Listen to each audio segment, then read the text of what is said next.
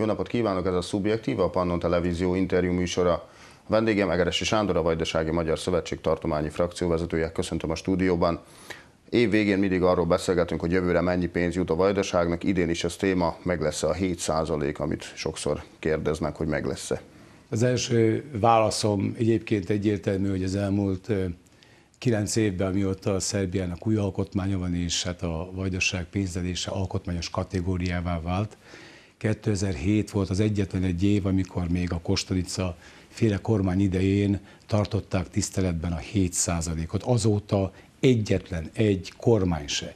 Tehát nem beszélhetünk arról, hogy még ezt a szerény számomra is, vagy számunkra, vajdaságiak számára szerény keretet sem tudják biztosítani, illetve nincs meg a politikai készség arra, hogy ezt a 7%-ot biztosítsák vajdaságra. Tehát én hogy nagyon visszafogott optimizmussal nézek a jövőbe. Igaz választási év lesz, nagy valószínűséggel új kormánykoalíció fog kerülni hatalomra a vajdaságban is. Talán ebben reménykedhetünk mondjuk, hogy ilyen értelemben valamiféle változás fog történni a pénzelés tekintetében. Egyébként nagyon őszintén megmondva óriási változásokat nem várok. Hogyan lehet így tervezni például? Tehát, hogyha az alkotmányos kereteket nézik, akkor a 7% ugye jár, de amit ön is említett, hogy gyakorlatban ez nem igen valósult meg eddig. Soha nem valósult meg, ismétlen 2007 óta, tehát nem. És akkor hogyan lehet tervezni ezekkel a pénzekkel? Hát nagyon nehéz tervezni a pénzekkel, ezért van mindig, akár a költségvetési módosítás tekintetében is problémákkal küzdik a tartomány, és ez most már évek óta így megy. Tehát az igazsághoz tartozik az is végül is, hogy ezt a kérdést csak egy jövőbeli komoly, mondjam így új alkotmányjal lehet majd általában a vajdaság státuszát, és ezen belül a pénzelését is megoldani. Tehát ez egyetlen egy megoldás hosszú távon, tartósan, csak az lehet, hogy a közeljövőben, sőt az Európa Unió eh, felé való csatlakozás egyik követelménye lesz nagy valószínűséggel egy új szerb alkotmány meghozatala, ahol be tudjuk majd építeni reményeim szerint egy demokratikus párbeszéd útján be tudjuk majd építeni úgy a vajdasági érdekeket, mint a pénzelés, külön a pénzelés kérdéskörét. Egyébként addig sajnos ez a húzavona, ez a helyzet, ez a leépítési folyamat, amely beindult vajdasággal szemben, ez attól tartok, hogy folytatódni fog. Ön is említette az előző válaszában, és pont, hogyha végignézzük az elmúlt hetek sajtó nyilatkozatait, Újvidék, ahol a demokraták vannak, ők a hatalomnak a legfőbb tartományban. A tartományban, tehát a tartományi hatalomról Igen. beszélünk, ott a demokraták viszik a kormánykoalíciót. Ők leginkább most a Belgrádot hibáztatják, hogy kevés pénz jut. A haladók válasza viszont erre az volt, hogy hát demokrata párt volt hatalmon köztársaságban és tartományban is, és akkor sem volt meg a 7 Na most a VMS viszont mind a két helyen a hatalmi koalíció része. Hogyan lehet így ezt a ezt ellentétek között mozogni. A Vajdasági Magyar Szövetség a Vajdasági Magyarság legkomolyabb politikai érdekvédelmi szervezete. Logikusnak tűnik, és úgy érzem, hogy amennyiben az érdekérvényesítést veszük, szemmel, veszük górcső alá, egyértelművé válik az, hogy a vajdasági magyarság érdeke megköveteli azt, hogy mint komoly politikai párt és szervezet a VMS ott legyen Belgrádban is, mint Újvidéken. Ugye Újvidéken már 10, 14 éve, 15 éve vagyunk jelen a, a tartományi kormánykoalícióban, az elmúlt bő egy évben pedig Belgrádban. Mit jelent ez? Ez azt jelenti, hogy bizonyos hatáskörök, hát ugye a köztársasági, egyetem az állami érdek tekintetében tudjuk megvalósítani a vajdasági magyarságnak az alapvető érdekeit, ami a jogainkat illeti, a jövőképünket illeti, tehát ott kell, hogy legyünk. Hallatni kell a hangunkat, és természetesen lobbizni a vajdasági magyar közösségét. A tartományban ezt gyakorlatilag már 14 éve tesszük, hiszen akár a gazdaságfejlesztési kérdéskörökben, akár a, a mezőgazdasági fejlesztés tekintetében azért próbáltuk úgy a magyar többségi önkormányzatokat, településeinket, illetve magunkat, a közösséget is előtérbe helyezni. Tehát ilyen értelemben én, mint kisebbségi politikus, mint a Vajdasági Magyar Szövetségnek a, a tartományi frakcióvezető is azt mondom, hogy ott a helyünk, Belgrádban is, és Újvidéken is. És ezért, ha valaki belünket bírál, az egy nagyon nagy tévedés. A VMS volt ellenzékben. Emlékeztetni szeretném a kedves nézőket, akár a 90-es években, a Milosevic ideje alatt kemény ellenzéki pártá, párt voltunk, és mit értünk el? Annyit, hogy szépen beszéltünk, hogy vertük, illetve ütöttük az asztalt, a szószéket, és persze, hogy népszerűségünknek ez akkor mind ellenzéki politikai pártnak, mint kisebbségi pártnak sokat jelentett. De viszont kon- konkrét, kézzelfogható eredményt nem tudtuk felmutatni a vajdasági magyarság felé, illetve vajdaság felé. Ez merőben más már 2000 óta. A vajdasági kormánykoalíciót nézzük, hát azt kell, hogy mondjam, hogy az idei évre, ha visszatekintünk, nem volt egy túl felhőtlen viszony. Akár lehet ennek oka az is, hogy a, a köztársaság és a tartományi koalíciók ezek megváltoztak. A Vajdasági Szociáldemokrata Ligával volt leginkább legtöbb vita. Itt a, ennek a csúcspontja talán az volt, amikor Takács Mártát, a Vajdaság erdei közvált igazgatóját e, e, eltávolították a posztjáról, hogy úgy mondjam. Hogyan sikerült rendezni ezt a kérdést? Egyáltalán nyugvópontra került ez, vagy várjuk a választásokat? Hát én azt hiszem, hogy nagyon igaza van, tehát nem volt felhőtlen, nem csak az az év, az elmúlt három és fél év sem volt felhőtlen, ami a, az együttműködést illeti a koalíción belül, de működik. Tehát mégis tudni kell, hogy a Vajdasági Magyar Szövetség egy szavahihető és egy komoly, megbízható partner. Tehát nem mi tőlünk függött, illetve függ az, hogy felbomlik-e a kormány, esetleg szétesik ugye a kormány, és ennek következménye mondjuk rendkívüli választások, előrehozott választások lettek volna módban. Nem. A VMS mindig meg tudta találni azt a mércét, amely alapján figyelembe véve a, elsősorban a vajdasági magyar közösség érdekét, ezt tudta párosítani a vajdasági érdekekkel, és mint megbízható partner mindig is hajlandók voltunk tárgyalni. Tehát a, De a tárgyaláshoz kell másik partner is. Na ez a másik kérdés, hogy milyen volt a másik partner. A ligát emlegette ön. Tény és való, hogy egy ilyen, mondanám, agresszív politikával, ugye mi valójában a VMS is és a liga is a vajdasági érdekeket is szem előtt tartja. Én úgy vélem, hogy a Vajdasági Magyar Szövetség sokkal eredményesebben tudta a vajdasági érdekeket megvalósítani, illetve elmondani akár a köztársasági parlamentben, emlékeztetni szeretnék 2010-ben, ezért mondjuk vesztettünk el önkormányzatokat, önkormányzati pozícióinkat, csak azért, mert nem szavaztuk meg a költségvetést, azért, mert Vajdaság érdekeit nem vették szem előtt. Ugyanakkor a koalíciós partnerünk mondjuk Belgrádban, tehát a Liga persze rászavazott óriási fajsúlybeli különbségek vannak ebben a kérdéskörben, de tény és való, hogy a Vajdasági Magyar Szövetségtől nem függött, nem függ ennek a koalíciónak a működése, és valójában a választások előtt már nem is számíthatok arra, hogy nem kell számítani arra, hogy felbomlik. Tehát De akkor mi tartja össze ezt a koalíciót? Az érdek? Hát valójában persze, hogy az érdek. Valójában az az érdek, hogy 14 éve gyakorlatilag ez a koalíció van hatalmon ahogy ön is mondta, és én is mondom, nem volt felhőtlen az elmúlt 14 év, voltak hullámvölgyek, de valójában meg tudtuk találni azt a közös nevezőt, amely alapján mi tudtunk politizálni a tartományba. Ezt tettük, tesszük és tenni fogjuk. Ön, ön is többször említette, hogy jövőben választások lesznek tartományi szinten, lehet, hogy más szinteken is, önkormányzati is biztos, egyesek rebesgetik a köztársaságot is, de mi maradjunk abban, ami biztos, vagy annál, ami biztos. Mire számít a Vajdasági Magyar Szövetség? Hát én elsősorban a Vajdasági Magyar Szövetség részéről egy jó eredményre számítok, hiszen, ahogy elmondtam már, a Vajdasági Magyar Szövetség így szavahihető politikai párt. Mi nem szenzációhajház politikával foglalkoztunk. Szemlék, szeretném a kedves nézőket emlékeztetni arra, hogy akármelyik parlamenti ülésünk, akár ebben az évben, az elmúlt időszakban mindig argumentumokkal szólaltunk föl, és minden olyan, minden parlamentülésen, minden aktuál politikai kérdésre, illetve napirendre volt mit mondanunk, amit én szeretnék elmondani, és amire büszke vagyok. Az elmúlt három és fél évben kialakult a Vajdasági Magyar Szövetségben a tartomány szintjén, szintjén is egy generációváltás. Tehát a képviselőcsoportban találhatunk tapasztalt, mondjam így kisebbségi politikusokat, találhatunk fiatalokat, illetve olyanokat, akik tenni akartak tenni, tenni és tesznek a vajdasági magyar közösségért ott, ahol a helyük van, tehát a parlamentben. Itt szeretném elmondani, hogy ez mellett valójában a büszkeségem másik oldala az, hogy egy komoly szakpolitikusakká váltak a képviselőink, és erről keveset beszélünk, ez nem dicsekvésként mondom, ezt mivel hogy ott vagyok és tudom, ismerem a képviselőtársaimat, és ismerem a képességeiket is, hogy erre büszke lehet az ember. Hát menjünk sorba, hogyha megengedik.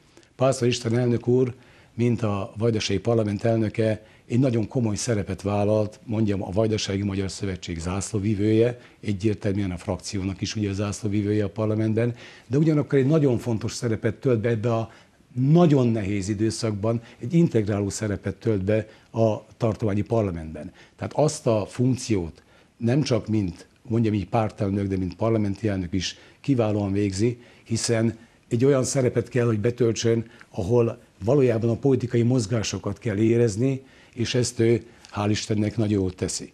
Menjünk tovább. Akár hogyha a költségvetési kérdésekről van szó, akár pénzügyi kérdésekről, gazdasági kérdésekről, Újhely Ákos képviselő kollégám már kifejlett szakpolitikussá vált. Pelt Ilona például az önkormányzatok tekintetében számtalanszor szólalt fel, és komoly kezdeményezései voltak. Vagy Kávai Szabolcs képviselőtársamat említsem, aki az oktatás politika területén járatos, illetve a kisebbségpolitika területén is hallatta már szavát. Vagy Patyi Lajos, aki a mezőgazdaság kérdéskörében, a, a területfejlesztés kérdéskörében járatos, vagy Kovács Tünde képviselőasszony, aki a humánpolitika területén a család, illetve a, a, a, a családi kérdések, a, a humánpolitikai kérdésekben járatossá vált, és így, mikor összeáll a kis csapat, vagy jó magam, aki mondjuk aktuál politikai kérdésekről, vagy érzékeny politikai kérdésekről szoktam megszólalni, úgy a parlamentben, mint a nyilatkozataimban. Én úgy érzem, hogy összeállt ez a csapat, összekovácsolódott ez a csapat, és úgy vélem, hogy erre lett az ember büszke. Nem, tehát nem személy szerint, hanem egyértelműen a közösség érdekeit szem előtt És ugyanez a csapat fog indulni jövőre? Hát ez nem tőlünk függ, természetesen én azt hiszem, hogy változások fognak történni, mind mindig a politikában jelen vannak a változások, de úgy érzem, hogy az elmúlt három és fél év az bizonyította, hogy ez a csapat összejáródott, ez ennek a csapatnak, eh, hogy is mondjam, nem lehet eh, ok nélkül bírálni bennünket, mert, még egyszer mondom, eh, botránymentesen politizált a Vajdasági Magyar Szövetség és politizál, nem szenzációhajház politikát folytattunk, de minden aktuál politikai kérdés tekintetében elsősorban a vajdasági magyar közösség, de ugyanakkor vajdaság alapvető érdekét tartottuk és tartjuk szem előtt. Ezt, első pár szó a hatáskörökről, vajdaság hatásköreiről. Itt a pénzelés kapcsán már beszéltünk erről.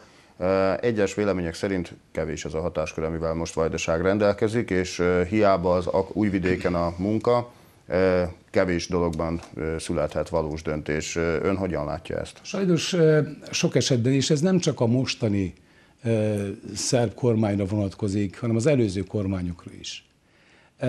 Sajnos... Ugye az alkotmánybírósági döntés kapcsán még. Hát emlékeztetni szeretném a tisztelt nézőket, hogy ahogy a mostani összetételű parlament felállt, ha jól tudom, egy vagy két hétre rá, az alkotmánybíróság rögtön azzal a döntéssel állt elő, hogy a hatásköreinket, amelyet ugye 2009-ben a, az akkori új statútum értelmében a Vajdasági Parlament, illetve Szer Parlament is jóvágyott és kiszavazott, kiirdetett, hogy ezt megnyírbálták.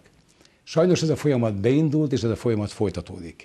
Különböző területeken kezdve, ön emlegette a pénzügyet, ami gyakorlatilag még a, a, a 2009-es statútum előtt sem valósult meg, tehát kezdve attól egészen a hatásköröknek a kérdéskörig.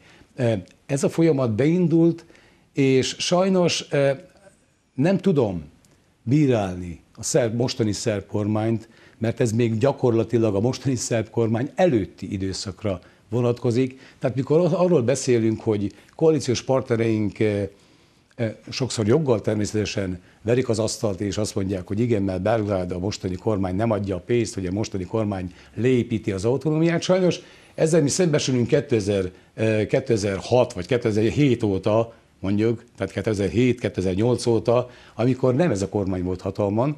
Tehát gyakorlatilag ez a folyamat a belgrád központi pártok részéről szinte semmiben sem változott.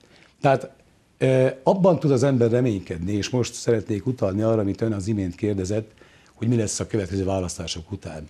Hát nagy valószínűséggel új kormánykoalíció fog felállni, nagy valószínűséggel ennek a kormánykoalíciónak, még egyszer ez a feltételezés, de a minden közvéleménykutatás ezt jelzi előre, hogy a haladó párt lesz a legerősebb párt valójában a vajdaságban és az új kormányban, hogy talán itt változás fog történni, elsősorban a pénzélés tekintetében, de a hatáskörök tekintetében is, hiszen azért elképzelhetetlen az, hogy egy Belgrád központú párt, ahol aki Belgrádban a köztársasági kormányt irányítja, hogy holnap után megnyeri a választás a tartományba, tehát mint legerősebb párt, a koalíciós partnerekkel természetesen közösen, hogy majd esetleg aláaknázza azt a politikát, amit kell, hogy a tartományba Hát volt már ilyen, amikor ugyanaz volt hatalmon Belgrádban. Ezt akarom mondani, igen, de talán itt változásban reménykedhetünk, mert itt reménykedésről van szó, itt én sajnos nem vagyok előre látó hát pontosan. nem is a haladó pártnak a tagja egyébként. Meg természetesen Fidesznek vagyok a tagja. A másik viszont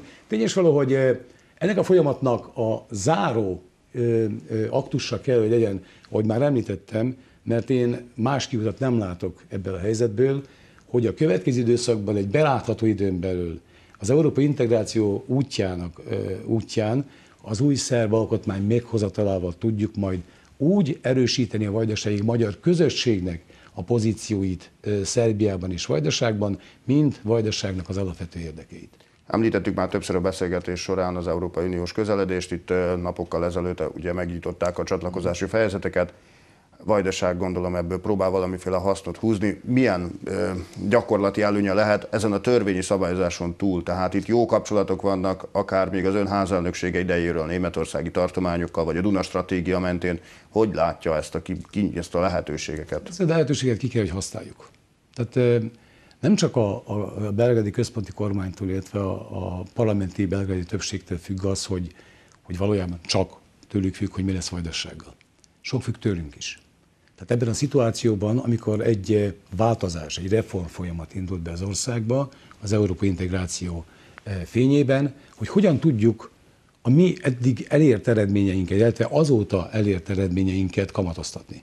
Tehát eh, gyakorlatilag igen, ki kell használnunk a Duna stratégiának az előnyeit, ki kell használnunk azt, hogy a Vajdaság nagyon aktív volt, és ma is aktív ebben a, ennek a stratégiának a kidolgozásában, hogy ez gyakorlatilag kezdeményezések útján, javaslatok útján Belgrád felé is, tehát a központi kormányzat felé is, tudatosítani a központi kormányzattal az, hogy mennyire fontos, nem csak Vajdaság szemszögéből a Duna stratégia, hanem Szerbia szemszögéből is, és ne csak beszéljünk róla. Sajnos ön is tapasztalhatta, és mindenki tapasztalhatta az, hogy időszakban például az európai, idő, európai integráció egészen mondjuk a mai napig, vagy mostani időszakig egyfajta divat volt. Tehát az aktuál politika az elmúlt években annyit beszélt, annyit beszélt az euróintegrációról, hogy na, de amikor konkrétumokról volt szó, amikor el kellett menni Brüsszelbe, és Brüsszelben megígérni azt, hogy mit fog Szerbia tenni ennek, a, a, ennek az integrációnak az útján, akkor Belgrádbe elfelejtették. Gondolok itt az előző kormányra. Elfelejtették azt, amit, amit Brüsszelben ígértek. A szavi hihetőség nagyon fontos a, ebben a kérdéskörben. A mostani kormányzat részéről pedig azt tapasztalom, hogy amit megígérnek, az gyakorlatilag egy belátható időn belül a Szerbia teljesíti. És ez nagyon fontos. Tehát még egyszer visszatérve Vajdaságra. Igen, Vajdaságnak a jelenleg elért akár euroregionális együttműködését ki kell használni. Be kell építeni a következő időszakba. Ezt úgy érzem, hogy nem csak mi, elsősorban mi miattunk és Szerbia miatt, hiszen Vajdaság továbbra is húzóerőre kell, hogy legyen Szerbiának az euróintegráció tekintetében, de ez hatáskörre kellenek. Vajdaságnak a tekintélye az euró regionális együttműködésben megvolt és megvan. Ezt tudnánk, és ezt kellene kamatoztatni a következő időszakban is, és ezt azért Meg mondom, a személyes hogy... kapcsolatok gondolom, hogy sokat Természetesen a legfontosabbak a személyes kapcsolatok. Én ezt elmondom, tapasztalatból tudom. Tehát nem elég csak papírra vetni egy együttműködést, vagy egy protokollt, vagy egy, egy egy hosszú távú stratégiai együttműködést. Itt fontosak a személyek, fontosak azok, akik valójában, akiknek hisznek a, a partnerek, akik megbízhatók. Hát a VMS ilyen egyébként, és én ezt nem kérdőjelezem meg. Tehát ezeket a dolgokat ki kell használnunk, úgy, ahogy már említettük, ugye Vajdaság, de Szerbia szemszögéből is. És itt Szerbiának is rá kell döbbenni arra, hogy Vajdaság politikai nem szeparatista politika. Ugye ezt hallottuk éveken keresztül, hogy akár milyen megmozdulás, akár a brüsszeli irodának a megnyitásával emlékeztetni szeretnék ismét, hogy mekkora cirkusz volt az körül, ugye, hogy nem tudom, most nagykövetség... Ezen túl vagyunk már? Hát én, szeret, én reménykedek benne, és bízok benne, hogy igen, mert e, ilyen visszhangok az utóbbi időben Belgrádból nem érkeznek, legalábbis nem halljuk. Egy időben szinte minden nap tapasztalhattuk azt, hogy a brüsszeli iroda a vajdaságnak a nagykövetsége az Európa Unióban. Hát nem mondjam, én ott voltam nem egyszer, és láttam, milyen körülmények között működik az az iroda. Hát annyit mondjuk, hogy nagyon szerény körülmények között működött és működik, de valójában ott van, és fontos az, hogy ott kell lenni. Fontos az, hogy Brüsszelben legyünk jelen, hiszen ott vannak a kulcsfontosságú döntések, és most a következő időszakban az Európai Unió csatlakozásáig nagyon fontos szerepet kellene, hogy betöltsön természetesen Szerbiának a, a brüsszeli ö, nagykövetsége, illetve Vajdaság az irodája, hiszen azon keresztül tudunk lobbizni az érdekekért. És most, mikor a lobbyról van szó, akkor sajnos megint félreértik sokszor az ember, hogy a lobbizás arról szól, hogy valaki zsebre vágja a pénzt.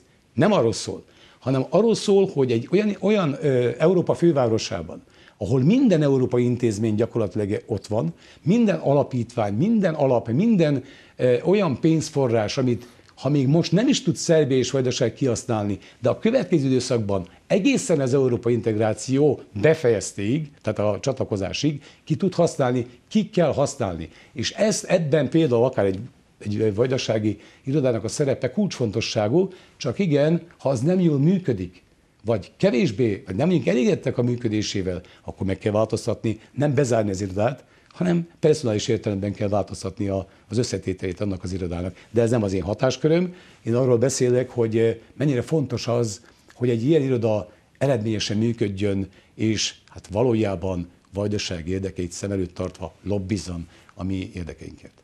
Frakcióvezető úr, köszönjük szépen, hogy a vendégünk volt. Megtisztelő volt számomra, és engedje meg a beszélgetés végén, évvégén vagyunk, és közeledik Szent Karácsony ünnepe, hogy kihasználjam eh, a vajdasági magyar közösségnek, eh, a kedves nézőknek, önöknek eh, kellemes karácsonyi ünnepeket és sikerekben gazdag, boldog új esztendőt kívánja. Szóval a nézők nevében is mondhatom, hogy viszont köszönöm. Kedves nézőink, önöknek köszönjük a figyelmet, maradjanak velünk továbbra is viszontlátásra.